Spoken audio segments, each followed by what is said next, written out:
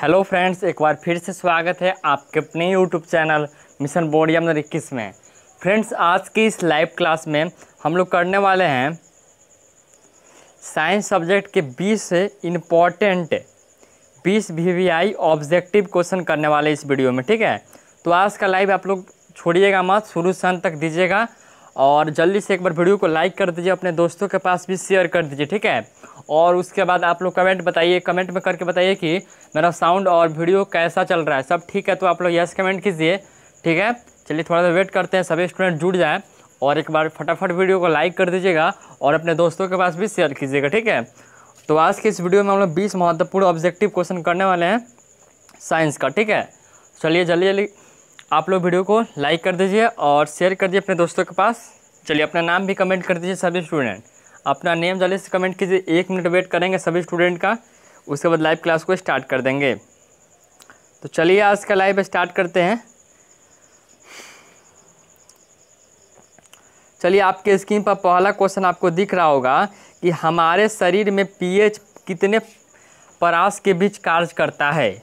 हमारे शरीर में पीएच कितने परास के बीच कार्य करता है? चार ऑप्शन आपके स्क्रीन पर है और इसमें से एक करेक्ट आंसर है, ठीक है? यानी तीन ऑप्शन जो है वो गलत है और एक ऑप्शन जो है वो राइट आंसर है, ठीक है? तो बताइए तो हमारे शरीर में पीएच कितने प्रास के बीच कार्य करता है? करेक्ट आंसर क्या हो जाएगा? फ़र्स्ट क्वेश्चन है।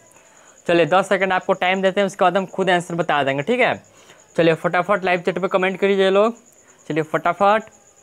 चलिए, बहुत खूब, बहुत बढ़िया।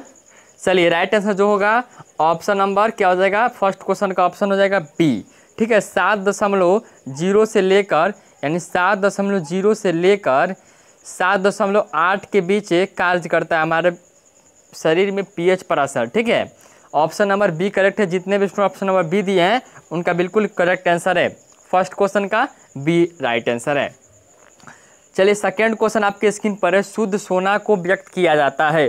शुद्ध सोना को व्यक्त किया जाता है। 22 कैरेट में 24 कैरेट में 20 कैरेट में या 12 कैरेट में शुद्ध सोना को व्यक्त किया जाता है। फटाफट लाइव चैट में कमेंट कीजिए। चलिए चलिए, जल्दी से कमेंट कीजिए। सभी स्टूडेंट, सभी का आंसर आना चाहिए और एक भी क्वेश्चन गलत नहीं होना चाहिए। सभी आंसर आना चाहिए सभी का और एक भी क्वेश्चन का गलत आंसर नहीं आना चाहिए, ठीक है? चलिए, क्योंकि यह सब क्वेश्चन हमको आपको पहले भी करा चुके हैं और फिर से इसको रिपीट भी करा रहे हैं, ठीक है? और आपको, यानी पूरा लाइव आप लोग दिए होंगे, जितना हम साइंस का लाइव कराए हैं तो आप लोग यह क्वेश्चन को सही कीजिएगा, ठीक है? तो शुद्ध सोना को व्यक्त करते हैं तो देखिए 24 कैरेट में करते हैं, ठीक है? 24 कैरेट में, यानी ऑप्शन नंबर बी शुद्ध सोना को व्यक्त किया जाता है, यानी 24 कैरेट में ऑप्शन नंबर बी करेक्ट हो जाएगा। चलिए नेक्स्ट क्वेश्चन आपके स्क्रीन पर है, कौन सा अधातु कमरे के ताप पर द्रव्य होता है? कौन सा अधातु कमरे के ताप पर, यानी द्रव्य अवस्था में पाया जाता है? चार ऑप्शन आपके स्क्रीन पर है, ब्रोमीन, पारा, तांबा या एल्युमिनियम।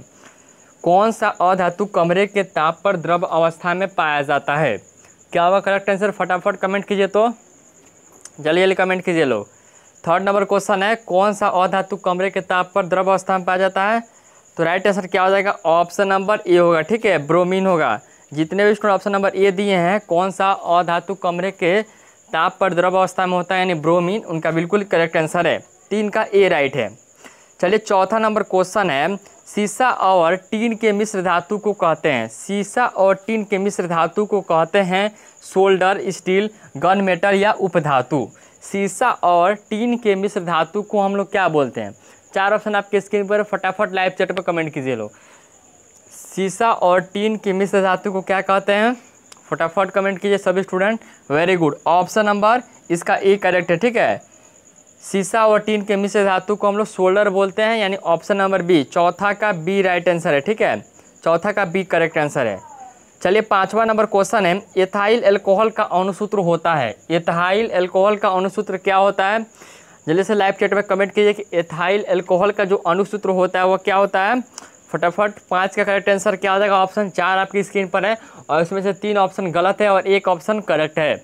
चलिए बिल्कुल ऑप्शन नंबर पाँच का बी हो जाएगा। पाँच का बी यानी ऑप्शन नंबर इसका बी होगा C two H five O H होगा, ठीक है? एथाइल एल्कोहल का अणुसूत्र ऑप्शन नंबर बी करेक्ट है। चलिए, छठा नंबर क्वेश्चन है, निम्नलिखित में कौन एरोमेटिक हाइड्रोकार्बन है? एरोमेटिक हाइड्रोकार्बन कौन है? ठीक है, निम्नलिखित में कौन एरोमेटिक हाइड्रोकार्बन है? फटाफट कमेंट कीजिए तो। जल्दी से लाइव चैट में कमेंट कीजिए ऑप्शन ए होगा बी होगा सी होगा या डी होगा। निम्नलिखित में कौन एरोमेटिक हाइड्रोकार्बन है? चलिए, फटाफट लाइव चैट में कमेंट कीजिए। हाँ बिल्कुल ऑप्शन नंबर इसका सी हो जाएगा, ठीक है? सी सिक्स एस सिक्स होगा। यानी सी सिक्स एस सिक्स किसका? अणुसूत्र होता है तो बेंजीन का होता है, ठीक है? यानी इसका ऑप्शन नंबर सी हो जाएगा बेंजीन ठीक है? ऑप्शन नंबर सी करेक्ट है छः का सी चलिए, सातवां क्वेश्चन देखते हैं हम लोग। सातवां क्वेश्चन है, निम्नलिखित में कौन? निम्नलिखित में से किस हाइड्रोकार्बन में तीन आबंध होते हैं? तो देखिए, तीन हाइड्रोकार्बन जो होते हैं, वह किस? यानी हाइड्रोकार्बन में तीन आबंध होते हैं, यानी चार हाइड्रोकार्बन आपके स्क्रीन पर दिख रहा है। और चार में से एक करेक्ट आंसर है, जिसमें तीन आबंध होते हैं। फटाफट राइट आंसर क्या होगा कमेंट कीजिए तो सात का करेक्ट आंसर चलिए, फटाफट सभी स्टूडेंट कमेंट कीजिए लो। चलिए, आपको 10 से 12 सेकंड आपको टाइम मिलता है कमेंट करते रहिएगा, ठीक है? सातवां नंबर क्वेश्चन है। निम्नलिखित में किस हाइड्रोकार्बन में तीन आबंध होते हैं? बिल्कुल ऑप्शन नंबर आप लोग क्या हो जाएगा? सी हो जाएगा, ठीक है? सी थ्री एच फोर होगा। यानी ऑप्शन नंबर सी करेक्ट है, सातवां क्वेश्चन का आंसर ठीक है? चलिए, आठवां नंबर क्वेश्चन आपके स्क्रीन पर फटाफट कमेंट कीजिए। आवर सारणी के उदर स्तंभों को कहा जाता है? आवर सारणी के उदर स्तंभों को हम लोग क्या बोलते हैं? चलिए, चार ऑप्शन आपके स्क्रीन पर है। आवर्त सारणी के उदर स्तंभों को क्या बोलते हैं? वर्ग बोलते हैं, आवर्त बोलते हैं, अप्रूप बोलते हैं या इनमें से कोई नहीं, यानी नॉन ऑफ़ दिस आठवां क्वेश्चन है। काफ़ी इंपॉर्टेंट क्वेश्चन आपके बोर्ड एग्ज़ाम दो के लिए है।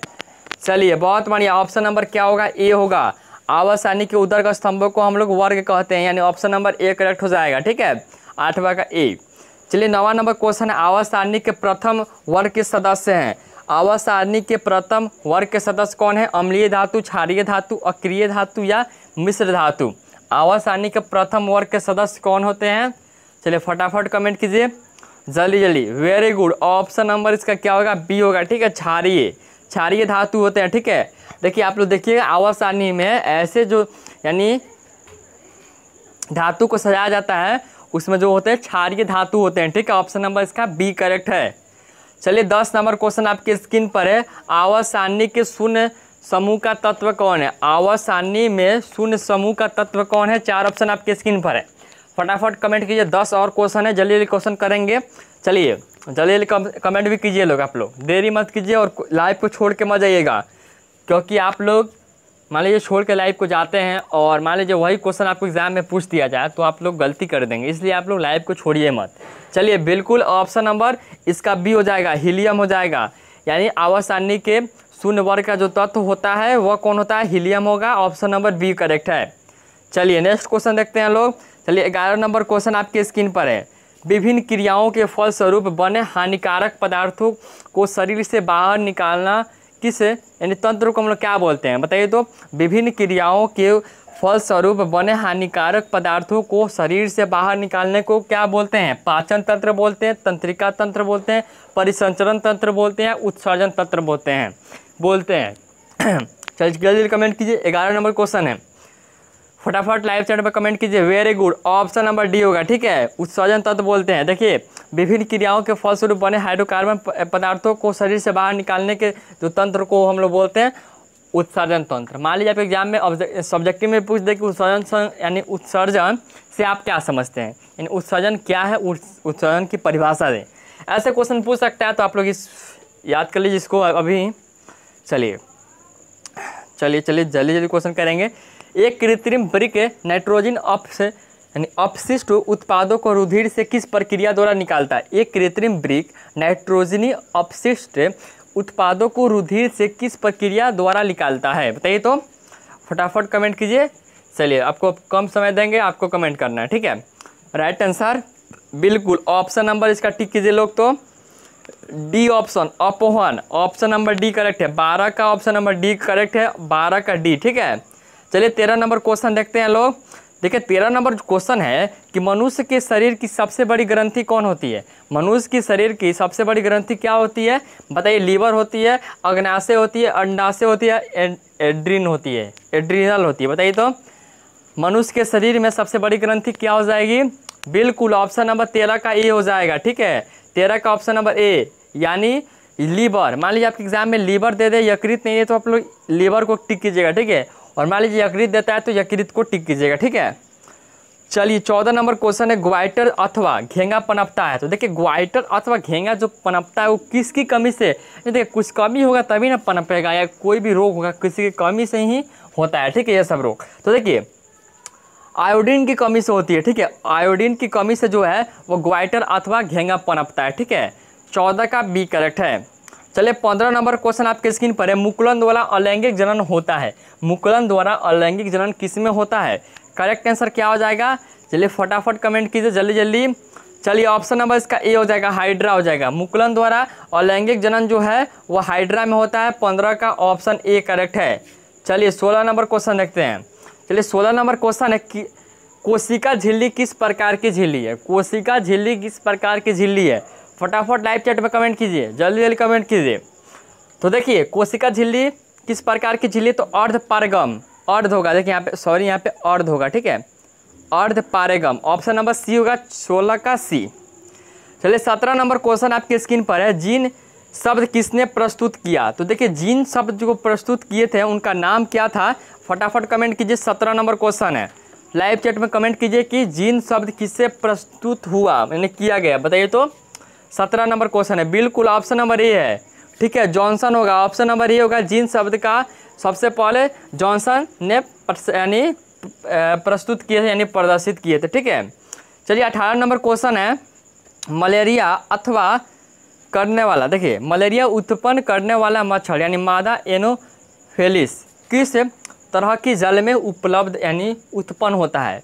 साफ़ जल में, गंदा जल में, मीठा जल में या इनमें से कोई नहीं। मलेरिया उत्पन्न करने वाला मच्छर किस तरह के जल में उत्पन्न होता है? साफ़ जल, गंदा जल, मीठा जल या इनमें से सभी? बताइए। चलिए इसका देखिए राइट आंसर जो होगा ऑप्शन नंबर बी होगा। ऑप्शन नंबर इसका बी होगा, ठीक है? बहुत सारे छात्र बोलेंगे कि ऑप्शन नंबर ए होगा। तो आप लोग ये नहीं होगा, इसका ऑप्शन नंबर बी होगा, यानी गंदा जल में होता है, ठीक है? मलेरिया उत्पन्न होता है तो गंदा जल में होता है। आप लोग याद करिए, अठारह का ऑप्शन नंबर बी होगा, ठीक है? और इसके पहले भी क्वेश्चन कराए थे तो बहुत सारे बच्चे बोल रहे थे कि ई होगा। तो आप लोग ए नहीं होगा, ऑप्शन नंबर बी होगा, गंदा जल में पनपता है, ठीक है?